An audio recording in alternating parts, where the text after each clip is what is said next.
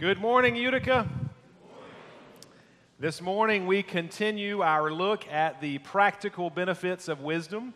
Uh, we have to do that because I kept waiting last week for y'all to return from your water and restroom break for the second half of the sermon. And at about 12:30, I guess uh, nobody was coming back in here. So we're going we're going to finish it up this weekend. And I just have to say, looking up at uh, the, the the screen this morning and looking at the backgrounds we're using for the for the visuals, some of you may have seen this on social media last week. So if you did, don't give away the answer. But as you look at that backdrop, what does it remind you of? Nobody? Does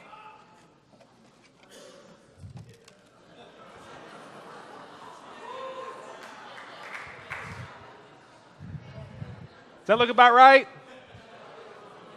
That's pretty close, right?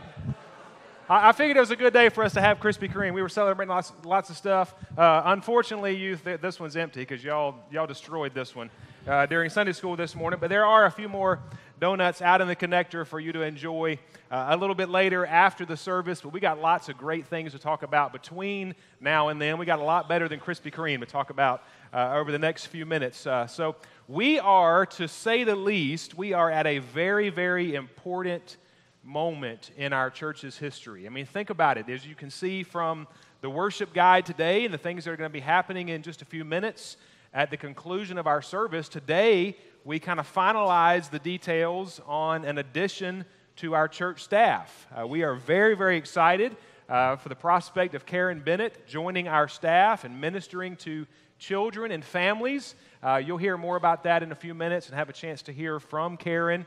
Uh, so we're excited about an addition to our staff. And then next Sunday, we gather in the sanctuary again and we officially break ground on an addition to our building and to our campus. So it is an incredibly exciting and important time in the life of our church. And I would say, as the pastor, that it's also a point at which we need the practical benefits of wisdom. Because our enemy knows that, that when we get to critical junctures in our, in our church family life together, those are opportunities to take us down the wrong road sometimes. Uh, as, as we begin to explore new things and as we take on more responsibilities, as we get to know each other, that's an opportunity that Satan might have to step in and to just sow seeds of discord among the brothers. And so I think it is a very, very timely thing for us to look back to Proverbs chapter 6 and explore these practical benefits of wisdom. So open up your Bibles, turn with me to Proverbs chapter 6. If you were here last week, we, we really got through about the first 11 verses as we looked at the fact that God's wisdom enables us to secure a strong financial base. Uh, that is going to be so critical as we enter into the next several months and, and even a, a few years of this new building project because I'm convinced that a church family is not going to be healthier financially than its individual families. If we want to be a church that honors the Lord in our financial stewardship, that begins with us honoring the Lord in our individual stewardship and the way we live our lives at home away from this building. And so uh, God's word has had great things to say for us, uh, say things to us as, as He was giving us wisdom for securing a strong financial base. But then we're going to look at an, another very important aspect. Uh, of how he enables us to walk in wisdom. So, if you have your place in God's Word, we're going to be reading uh, Proverbs chapter 6. We're going to we're going to hone in on verses 12 through 19 this morning to see the practical benefits of wisdom. So, if you will, stand with me to honor the reading of God's Word. You follow along in your copy as I read from mine. Uh, as usual, I'm reading from the English Standard Version. But this is what God's Word has to say to us as we shift gears this morning and as we look to some very positive themes that are written from a negative perspective. So let's learn from what God does not want us to be, beginning in uh, Proverbs chapter 6, verse 12. A worthless person, a wicked man, goes about with crooked speech. He winks with his eyes, signals with his feet, points with his finger. With perverted heart, devises evil, continually sowing discord. Therefore, calamity will come upon him suddenly, and in a moment he will be broken beyond healing. There are six things the Lord hates, seven that are an abomination to him. Haughty eyes, a lying tongue, and hands that shed innocent blood, a heart that devises wicked plans, feet that make haste to run to evil, a false witness who breathes out lies, and one who sows discord among the brothers. I hope as I was reading that passage in God's Word that you noticed the repetition there on the one who sows discord among the brothers. God hates that. And He hates that so much that He sent Jesus to establish for us the peace that passes all understanding and brings all people together if we will trust in Him. So let's, let's trust in Him now as we turn to His Word. Let's pray together. Heavenly Father, we're thankful for the gift of your Son Jesus. We're thankful that He is the one that, that breaks down the dividing wall of hostility and brings peace to those who are far off. Uh, Father, I pray that we might walk in that peace. I pray that we might be a church family that experiences that peace. And Lord, we know it only comes from you. So, Father, we pray that as we look to your word this morning, that you would help us to see practical benefits of wisdom, especially as it relates to how we relate to one another. Uh, Father, we, we want to be not just individually what Phil talked about as those who have been with Jesus and, and whose presence with Him is evident in their life. Father, we want the same to be true as for our church family. We want people to, to be able to come in and worship with us and, and interact with us and, and live among us and say, These people, they love each other. And we want that to be because we love you and are called to walk in, the, in a manner that is worthy, worthy of the calling which you've placed upon our life. So, Father, we pray that you would continue to show to us this morning the practical benefits of your wisdom. We ask these things in Jesus' name. Amen. Thank you. You can have a seat. As I said last week, we, uh, we looked at the first half of this chapter, the first 11 verses of this chapter, and we talked about the practical benefits of wisdom that enable us to build a strong financial base. We won't uh, spend much time in those verses this morning, but just to, by way of review, for those of you who may not have been here, uh, it, it, talked about the fact that a foolish commitment is a trap. Uh, specifically in the text, it was talking about the, the folly of co signing, uh, of making a pledge on behalf of another person, one that we have no control over ourselves. And we, we mentioned last week that, that that is an area in which we have to have great caution, that the, the overarching message of God's word is that that kind of a foolish commitment is a trap that we can get ourselves into. We need to be very careful about that. Uh, we also saw in verses uh, 6 through 9, 10, uh, that diligent preparation is an investment. Uh, God's word told us to look to the ant who prepares for the winter even while it is still summer. And we talked about the things that we can do financially uh, to be able to prepare for a stable future and one that honors the Lord with our finances. And then finally, looking at verses 9 through 11, we were reminded that laziness is a thief. And now we confess that all of us have a sluggard living within us. Uh, for some, it may be more evident. For others, it, it, it may be something that kind of is deep down in our hearts that is sometimes masked uh, by, a, by an overworking mentality, but there is a sluggard that lives within all of us. And so we have to be very careful to allow God's wisdom to lead us to the establishment of a strong financial base. But this morning, as I've already kind of pointed out in that repetition in verses 11 or 12 through 19, there is this repetition of the one who sows discord among the brothers. And as we get to this passage that is talking about the things that God hates, that is strong language, church.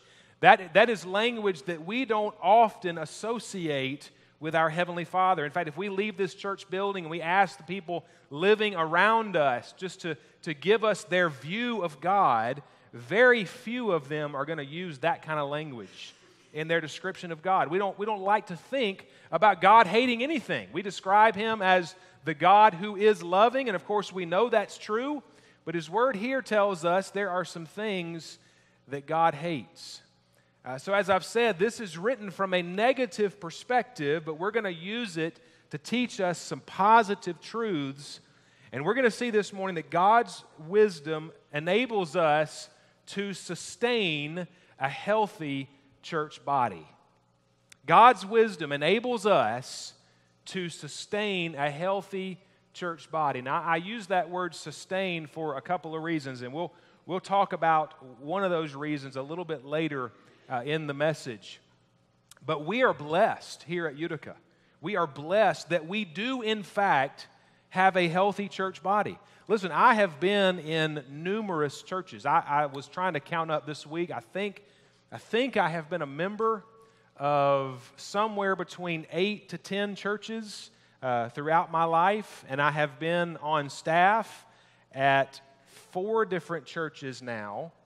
And so I think I have a fairly wide perspective of comparison. And let me just tell you what I hope you already know Utica is unusual. I wish that was not the case. I wish that it was not unusual for a church family to be healthy relationally and financially and spiritually. I wish that wasn't an abnormality, but I'm here to tell you that in, in the churches that I have been in, and especially the churches that I've had opportunity to interact with, Utica is unusual. And, and we've had people who have, who have seen that. We had a couple, uh, Danny and Rosemary's friends, that joined us on our trip to Israel. And just after a couple of days, they said, Man, this is an unusual group because there are no problems here. There, there's no infighting, there's no bickering. And, and they made it sound like we just did an incredible job of handpicking some people from the congregation to send on a two week trip to, to Israel together. But I said, listen, this is the way it is. But, church, let me tell you, that's unusual. And, and we need to praise God for that because it's, it is not the work of the staff and it is not just the work of the church family, it is a gracious gift of the Holy Spirit. But God's Word tells us that what God has given to us, we need to work hard to maintain. And so that's why I say that God's Word enables us to sustain a healthy church body. Now, the reason I chose the word body is because, as you see here in this passage, that's what the emphasis is on.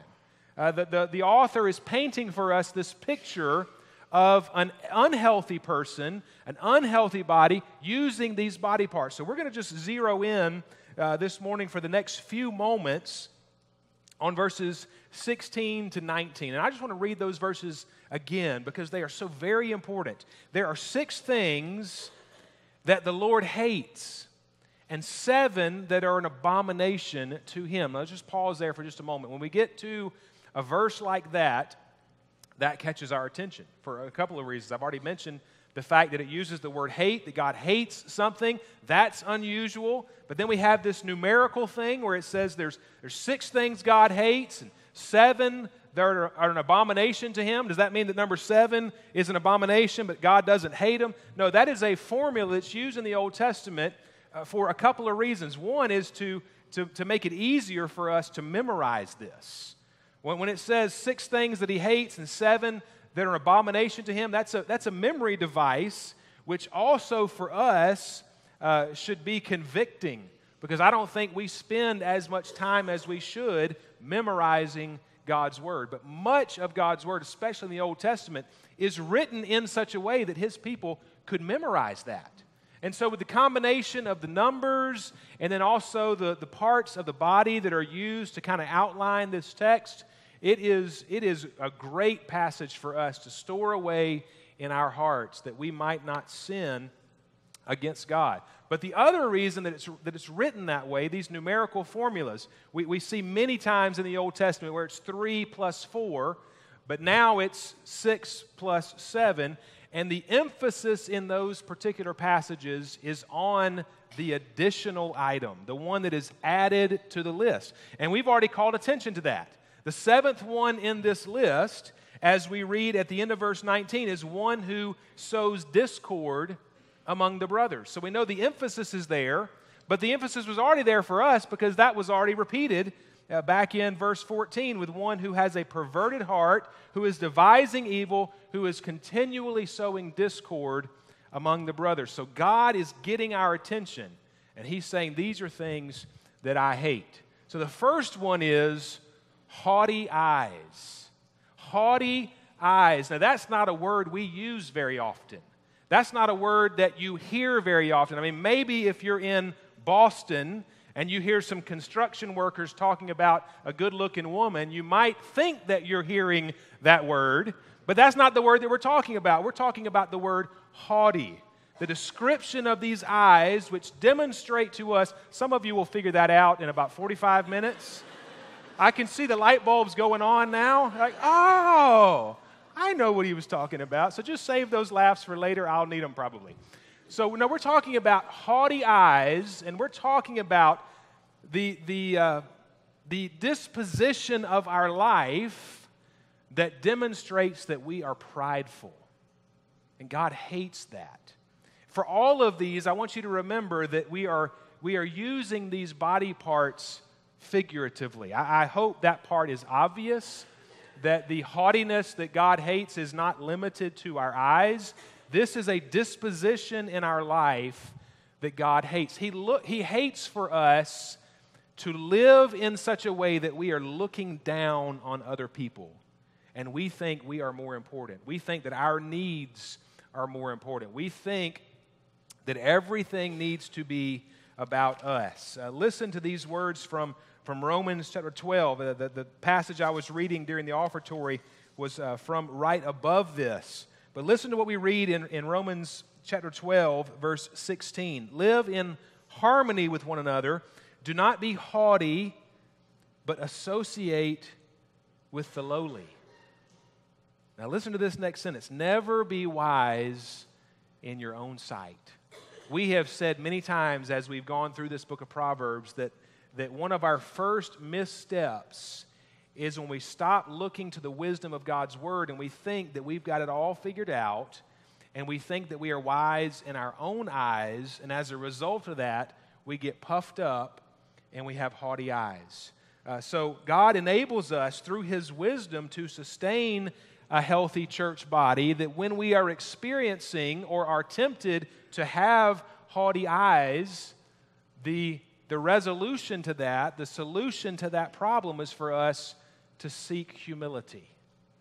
Remember what James says? I, if you're reading the book of Proverbs, you might as well go ahead and bookmark James chapter 3 and James chapter 4 because you could come back every single week. But we've, we've said it before. James chapter 4, verse 6 says, God opposes the proud, but he gives grace to the humble. Now, let me ask you, church, life is hard enough already, right? I mean, we go through some stuff in life that's difficult. So when you come across the difficulties of life, let me just ask you a question. Do you want to add to that difficulty by knowing that God is in opposition to you? Or do you want some help with that problem, knowing that God will give you grace? And James says if you want his grace for the moment, then you need to be a humble person. So instead of those haughty eyes, God would encourage us to seek humility. And then there is the lying tongue. That is the second. Haughty eyes and a lying tongue. But, but church, let me just, we're not going to dwell here for very long. But let me, let me just make sure that we all know that none of us are immune to this that we are not just talking about bold faced lying here, which we know comes from Satan himself. God's word tells us he is the father of lies. So, but we may give ourselves a pass. But let me just encourage us to remember our tendencies and our temptations. Our tendency is to stretch the truth. Our tendency is to twist the truth when it's better for our circumstances. And especially, our tendency is to conceal the truth when the truth does not benefit us. And I would remind all of us that every bit of that falls into the category of a lying tongue. And God hates it. He hates it. That's why Jesus said, I am the way and the truth and the life. If we walk with Jesus, if we dwell with Jesus, we must be a people of the truth. I got to thinking about the armor of God, and you know, it says we have the, the belt of truth, right? Now, what did they use that belt of truth for? They used it to gird up their loins. When it was time for action, they would gird up their loins. They would take those long robes they tended to wear and they would tuck them into their belt so they would not trip on those in action and in battle. In church, I have to tell you that life is a spiritual battle. And much of the time, we are tripping over our words. We are tripping over our tongue. We need to put on the belt of truth. We need to stop having a lying tongue, and we need to speak truth. There are, there are the haughty eyes, there is the lying tongue, and then, what I'm, then there is what I'm calling harmful hands. Look at the end of verse 17. Hands that shed innocent blood. Uh, once again, we, we might have a tendency to give ourselves a pass because most of us would say, Well, I, I don't, I don't shed innocent blood. I, I, I've never done that. But remember, this is figurative here. This is talking about bringing harm to somebody who does not deserve that harm. Seeking to do evil instead of doing good. So we need to make sure that we do not have harmful hands, but instead we pursue peace. Church, this is so very important. Remember what Jesus said in Matthew chapter 5 verse 9, one of the beatitudes here, he said, "Blessed are the peacemakers, for they will be called what? The sons of God." You want to look like your heavenly Father? You want to take on the characteristics of your Heavenly Father, in order to do that, you have to be a peacemaker. Blessed are the peacemakers. We are, we are inclined to err to one side or the other of that line of truth. We are inclined either to be peace breakers, to, to, be, some, to be people that uh, pursue and stir up conflict and be peace breakers, but sometimes we live on the other side of the line and we are peace fakers. And if we are peace fakers, we are not, we are not wearing the belt of truth. We're just, we're just faking as if everything is right.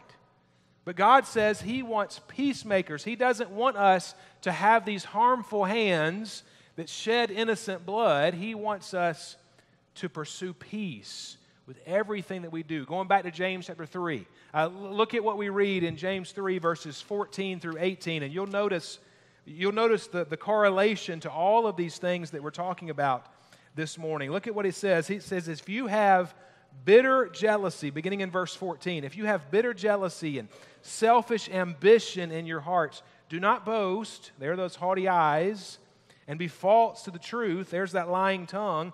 This is not the wisdom that comes down from above. It is, it is earthly, it is unspiritual, it is demonic. For where jealousy and selfish ambition exist, there will be disorder and every vile practice. But the wisdom from above is first pure, and then peaceable, and then gentle, and open to reason, and full of mercy and good fruits, and impartial and sincere. And the harvest of righteousness is sown in peace by those who make peace. A harvest of righteousness is sown in peace by those who make peace. We cannot have harmful hands. We cannot have a wicked heart, a heart that devises evil. I've been walking through the book of Esther on Wednesday nights lately, and we find in the book of Esther a, gentleman, uh, he's not a gentleman, a, a bad guy named Haman. And Haman is the absolute picture of so many of the things that God hates in this passage. Haman is out to get Mordecai. Mordecai is innocent, but Haman wants him killed because Haman is prideful. And he wants Mordecai to bow down to him, and he wants to be paid homage, and he cannot stand the fact that a Jewish man in the Persian Empire would not bow down to Haman. And so he seeks not only to have Haman killed, but to have all of Haman's people, the Jewish people, wiped out from the Persian Empire. If you don't know that story, I would encourage you to go to the book of Esther and look at this awful example of a man named Haman. But, church, let me just remind you when it says the harvest of righteousness is sown in peace by those who make peace, this guy named Haman is a picture of a full grown harvest of unrighteousness. But that harvest begins with tiny little seeds of discord. They're sowed by our hands sometimes and in our hearts. Those, those little gotcha words, those, those little jabs that we take to cut somebody else down, to build ourselves up, the willingness to cut a corner in order to get ahead. God hates those things. He hates a wicked heart, and the solution to that is for us to desire righteousness, to pursue a righteous life that is only possible through His Son Jesus. And so we are to, to, to walk away from that wicked heart and to desire righteousness. And then finally, uh, we see that God hates what I have called evil chasing feet. Uh, look back to Proverbs and, and look what he says at the end of verse 18 feet that make haste to run to evil. I know what you're thinking. You're like, I'm in, I'm in church on a Sunday morning on Labor Day weekend. I, I could be lots of different places. My feet are not making haste to run to evil. What are you talking about, Pastor? But let me remind you tiny, tiny little seeds, tiny steps in the wrong direction. As we put all these things together, we've, we've talked about that strong financial base. Well, making haste to run to evil would be cutting corners financially. And we've talked about the fact that laziness is a thief.